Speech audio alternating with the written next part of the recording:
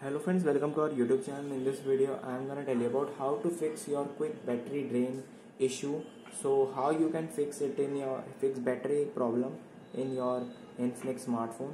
Before watching this video if you have not subscribed to our youtube channel then subscribe to it and like our video. So let's start friends. First you have to click on search and here you have to write app management. Click on app list then click on search.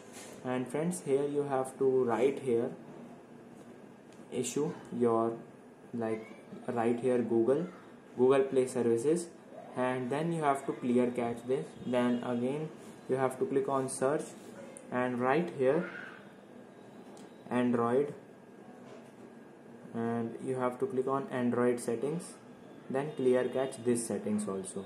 Then simply friends uh, press back and if you are facing with quick drain uh, battery issue problem in your Infinix device. So first you have to clear uh, your data. If you, if it is not in use like photos images videos documents audios in your file manager app or you have to release some of your apps that are not in use.